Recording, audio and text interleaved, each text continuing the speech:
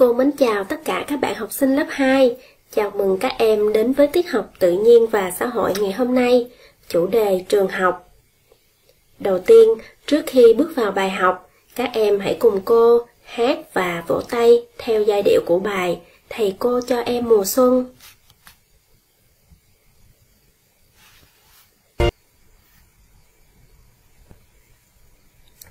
Bài hát vừa rồi nói về ai vậy các em nhỉ?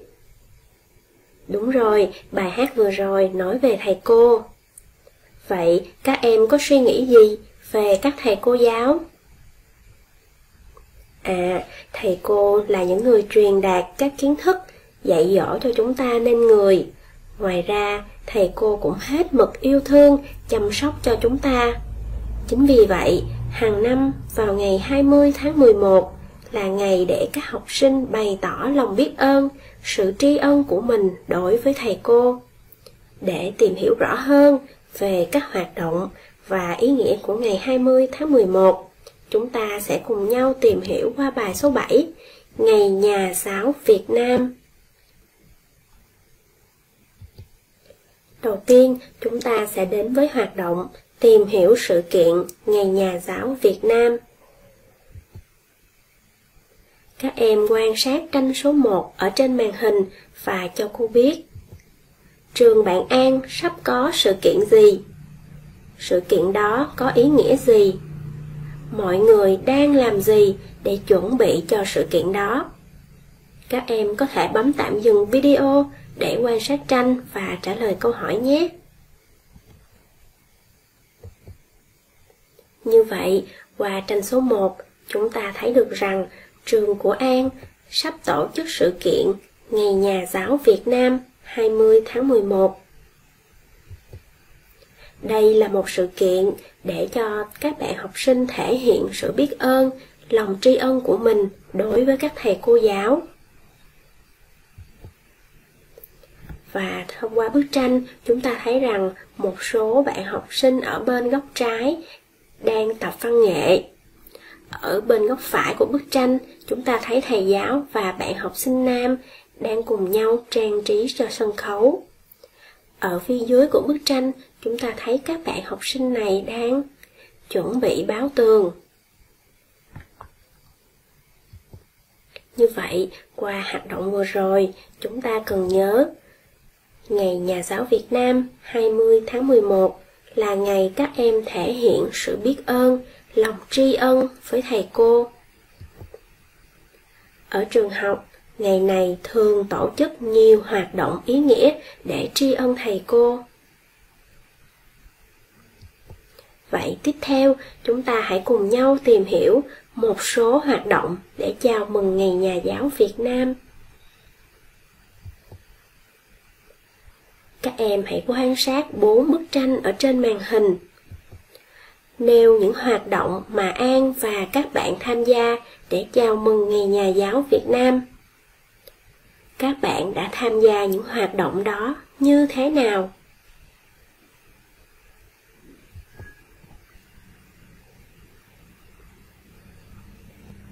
Quan sát tranh số 2, chúng ta thấy rằng An và các bạn đang cùng nhau tập văn nghệ để biểu diễn vào ngày 20 tháng 11 Ở bức tranh số 3, chúng ta thấy rằng các bạn ấy đang cùng nhau làm và trang trí những tấm thiệp để tặng cho thầy cô. Ở tranh số 4, chúng ta thấy rằng các bạn ấy ra sức thi đua học tập tốt, đạt được nhiều môn hoa điểm 10 để cho thầy cô cũng như là ba mẹ được vui lòng.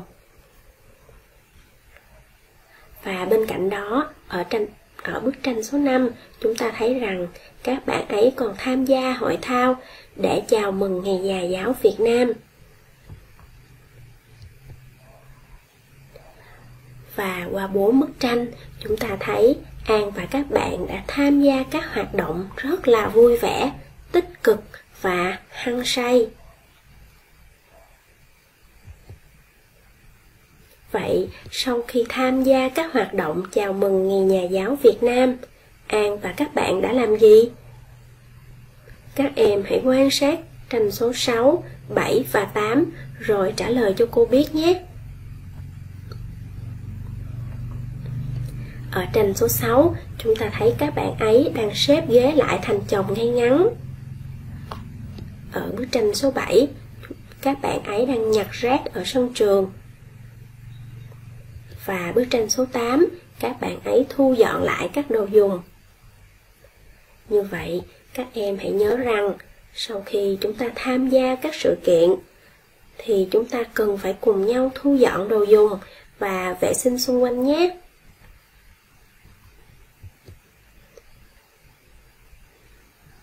Bây giờ cô xin chia sẻ với các bạn một số hoạt động trong ngày 20 tháng 11 mà các bạn học sinh trường tiểu học Dương Minh Châu đã được tham gia nhé.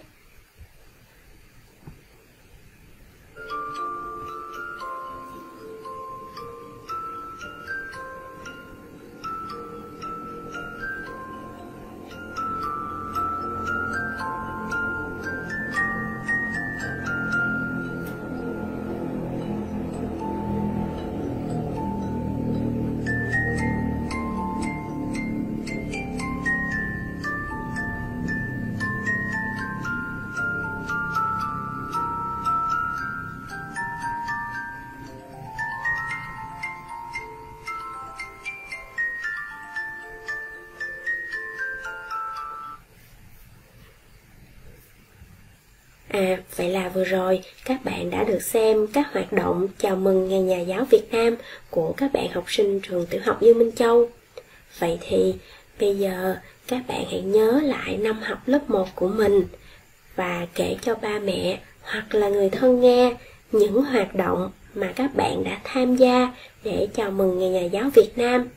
Và trong số những hoạt động đó, các bạn thích nhất là hoạt động nào nhé?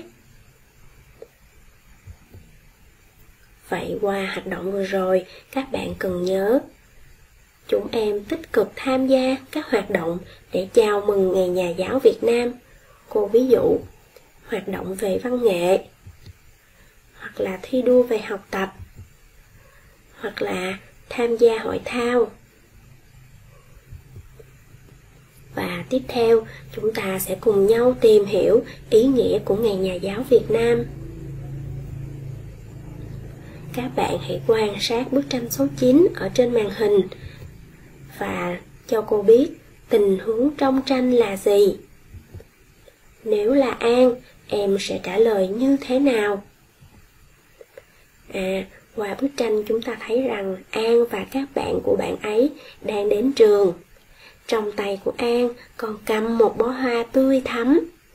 Thấy vậy thì một bạn nam liền hỏi, bạn mang hoa làm gì thế?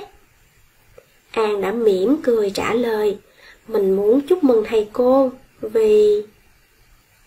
À, ở đây bạn An chưa nêu được lý do, cho nên là bây giờ các em hãy thử tài đóng vai. Nếu em là An, thì em sẽ trả lời như thế nào nhé? Rồi, bây giờ cô sẽ gợi ý cho các bạn một số câu trả lời như sau. An sẽ nói rằng mình muốn chúc mừng thầy cô vì thầy cô đã tận tình giảng bài cho mình.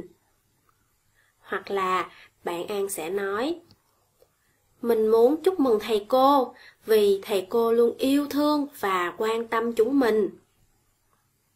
Như vậy, cô đã gợi ý cho các bạn một số lý do mà An muốn chúc mừng thầy cô. Và những lý do này cũng chính là suy nghĩ của An về thầy cô của mình. Vậy còn các bạn thì sao? Các bạn hãy nhớ là về thầy cô giáo dạy lớp 1 của mình rồi chia sẻ với ba mẹ hoặc là người thân về điều em nhớ nhất về thầy cô nhé.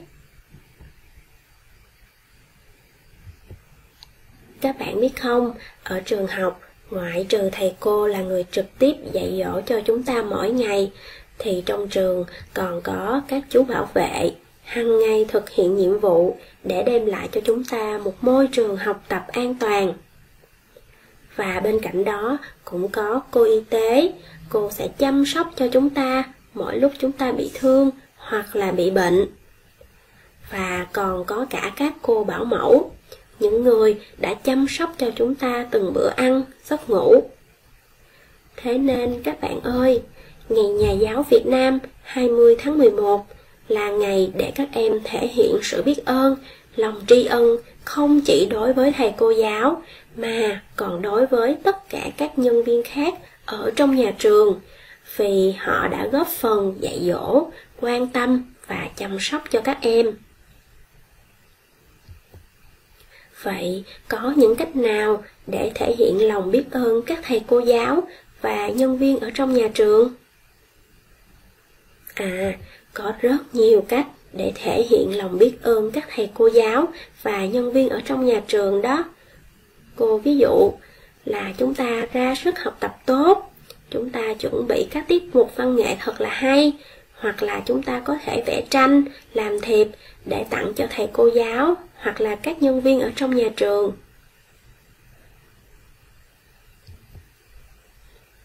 Bây giờ chúng ta sẽ cùng nhau trải nghiệm một số hoạt động và cảm nhận nhân ngày nhà giáo Việt Nam.